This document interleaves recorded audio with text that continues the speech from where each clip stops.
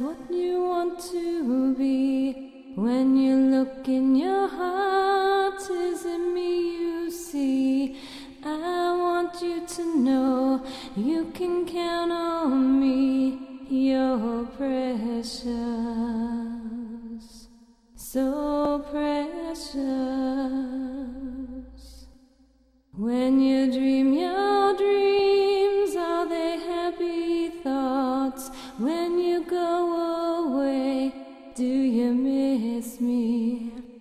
When you grow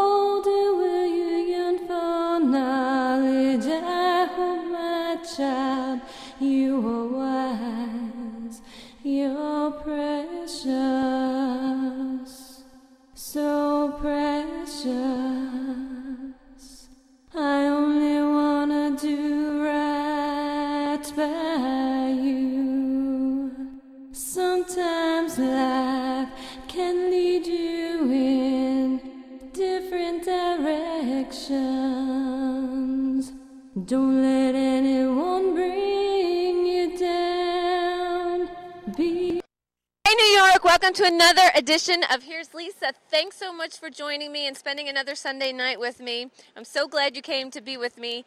Today we are at Sputnik in Brooklyn, another hot spot. We're going to go take you around town. We were at Vertigo the other week. Now we're here at Sputnik. You can check it out online at www.sputnik.com. We're going to go inside. We have a lot of artists. You saw Josh Lutz in a previous episode, and he has his artwork here. And we're going to see his artwork and some more artwork. We're going to talk to some artists. We're going to see some DJs, and we're going to see some music and dancing. And let's go in and see what's going on, okay? Come join me. Don't go anywhere. Come on, New York. Okay, wow, here's the dance floor. We're going to come back there, but let's go first look at the artwork here. It is amazing, this artwork. Look at this gold. I'm not sure who the artist is for this one. Usually at Sputnik here, they have the artist with their artwork. So we'll see if this artist comes back later. But let's look over here. We have the artist with this piece. Excuse me. Hi. Hi, how are you? I'm good. My name's Lisa from the Here's are you? Lisa Show. I'm good. This is Jamal. Jamal, what's your last name? McClary. McClary? Yes, Jamal McClary. Jamal McClary, and I understand you are you run this event. I help put it all together. Um, I basically book the artists and make sure that everyone's here, and you know, we just have a nice atmosphere. And how often do you do this? We do this um, about twice a month. Um, we have a show called Kaleidoscope. Me and my business partner Mike put it on, and it's just kind of like a street art, graffiti, music culture event. So we always have live hip hop, and we always have a lot of great artists that come back here, and they love to show their work. Great. So you can look at artwork and dance. And Exactly. Jamal, I was wondering if you can just explain a little bit about your artwork to the audience here. Absolutely, absolutely. Um, may I? Oh, thank you, thank you. Um, well, as you can see, this is my work here. Um, I am a self-taught artist. I'm 26 years old from Queens, um, and a lot of my work is just, I guess, self-creative. I guess you could say. Um, I've never gone to school for any of any of the work that you see, and this is just what comes out of my imagination. Um, Have you been doing this since you were real little? I, I've been doing this since I was about two, wow. so it's about 24 years total. I understand this one you can get in print. Yes, I actually um, I just had prints made of this, and you can order these at 1019.com. And these are these are great prints. Everyone loves this piece um, for 20 bucks. They're 12 by 18. They're great prints. I have no complaints. I also understand, Jamal, that you are into toys. So let's talk about this sculpture here. Oh, and look, there's a painting of it too. Yes. Well, I kind of wanted to do a series, and this is um, just a character that I came up with. I love going to Kidrobot. I love the imagination that they do with their toys and everything. And um, so what I did was I made this painting, and then I've never sculpted before in my life. And one day I just wanted to pick up some clay, and this is actually my first sculpture that I made. So this is actually, as you can see, a semi-replica of what we what we have here. So the painting came first. The painting came first, and it yeah, and this is the uh, his name is the Purple Murder Monster. So um, yeah, I'm trying to get into toy design and everything. You name it, I would love to do it. So this is actually what I've been moving into.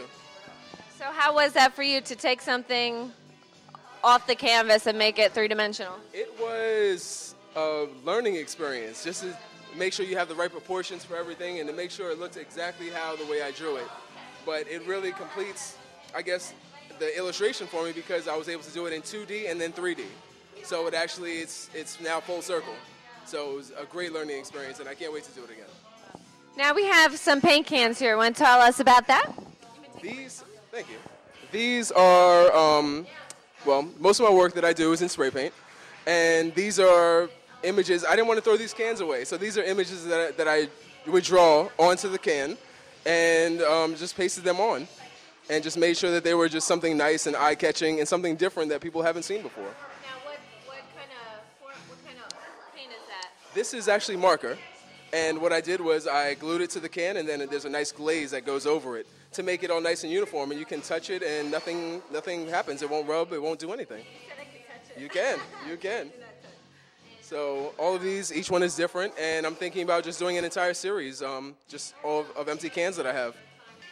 Okay, Jamal, we had Josh Emlitz at the studio, and he was talking about how he loved working with spray paint and that every artist should dabble in it. What do you think about spray paint? I think that he's absolutely right. Every artist should. Um, spray paint is a great medium. It's very versatile, and it can. It's very fast. It can fade easily. You can do a lot of things with spray paint that a lot of people probably don't think you can. It's not just graffiti. It's not just for graffiti. You can take it beyond that and really make a great art piece out of it. I think every artist should experiment with, with spray paint as well. It's a great medium. Okay, let's talk about your fashion design. I understand you design your own shirts and other fashion. I do. Um, this is actually a hand painted design that I did um, in about 20 minutes or so.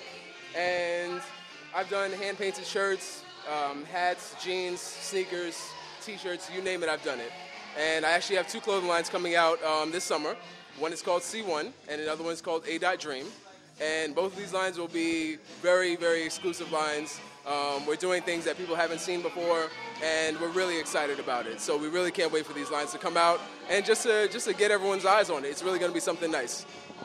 Can you tell everybody your website? Absolutely. My website is 101nine.com. That's 1019.com. Or you can hit me on MySpace, myspace.com forward slash 1019. Is there anything else here that you want to talk about? Because you have such a, you know, I hear this book. We'll have to flip through this book, Clarence, and look at some of these prints. But any, what do you think of when you're creating? I, I think of originality. I think of creativity, and I think of fun. So I always want something that doesn't look like the next person's artwork, and I want mine to be very distinguishable and very much so my style. So I always just try and do things that people haven't done or that I haven't seen before that I want to do. And I always think that it should be original and as fresh as you can possibly make it. If you could describe your style, Jamal's, Jamal's style, what would it be? Oh man, I knew you were gonna ask me that. I knew you were gonna ask me that. I would say it's it's urban, cartoon, anime-ish, somewhere in that in that realm. That's where I fall. So It's great. Any particular colors you like to work with? bright colors, bright colors. I love any and all colors, as you can see. Um, but bright colors like this, you know, the dark green with the light green and the orange, and two different shades of black. I just there's just something that I like with bright colors and just making sure that it contrasts every single thing that's that's around it. I feel like color is my strong point, so I really try and bring that out in my paintings. This is the book I was talking about that um, Jamal has a lot of different stuff in here. And um, Jamal, do you want to just quick, yeah, do you want to just talk a little bit about this? Absolutely. Let's see. We can start with uh, this is my introduction to my book. Um, through every book, I like to have a strong introduction. This one is just has more so of um, robotic sci-fi theme, as you can see, and it spreads throughout these two pages. Um, there's no real meaning behind this. I just wanted something that was new, something that was eye-catching, and uh, this is called Picking Up the Pieces. As you can see, this robot is reassembling himself um, and reinventing himself. And, you know, in retrospect, It- please do. You can. It's, it's protected. You won't leave any fingerprints. And um, this is marker, this is spray paint, and this is about a few hours of my time. So let's see. Is that all? few hours, that's it. I have it I have it down to a science. Let's see, we also have this work right here. This was an early page that I did just from our website, and it just says 1019.com. and I just wanted something, you know, inventive. Yep, it's color's my strong point. Like to do things like this, and this is on my earlier work as well.